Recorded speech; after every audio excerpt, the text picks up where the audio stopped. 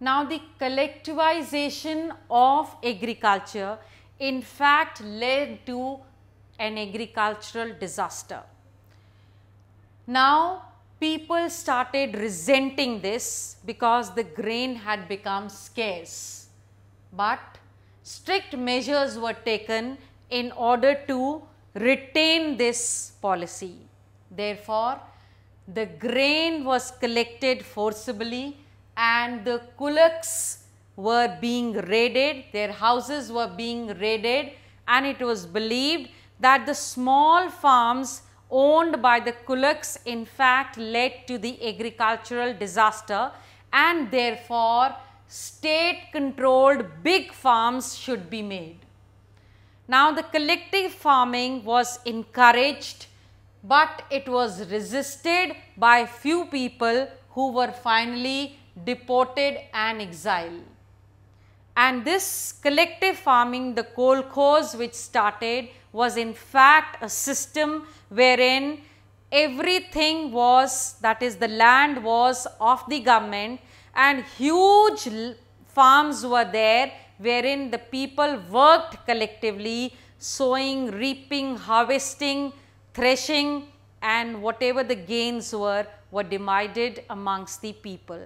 That is to say now every land was the property of the government. That was the kolkhoz farming.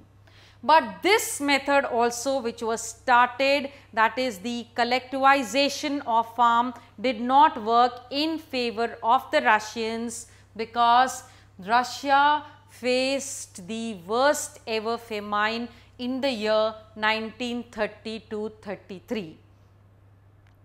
Now, let us see the global influence on Russia that is the socialism.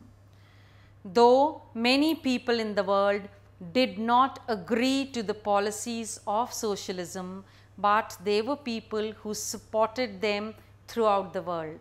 Whether it was the Communist Party which was made in Great Britain or the Comintern which was formed, one thing was very clear with the people that a poor country like Russia actually became a big industrialized country, a big agriculturist country and a self economy country because of socialism. But they also knew that the powers and rights of the people were curtailed, private property was discouraged and the people did not feel very comfortable with the type of government. So, there were mixed views, but one thing everybody has to remember is that of course, Russia took a big leap as far as modernization, industrialization, economy stabilization is concerned and that is all due to socialism they felt. That was all about your chapter of history the second one. Thank you so much.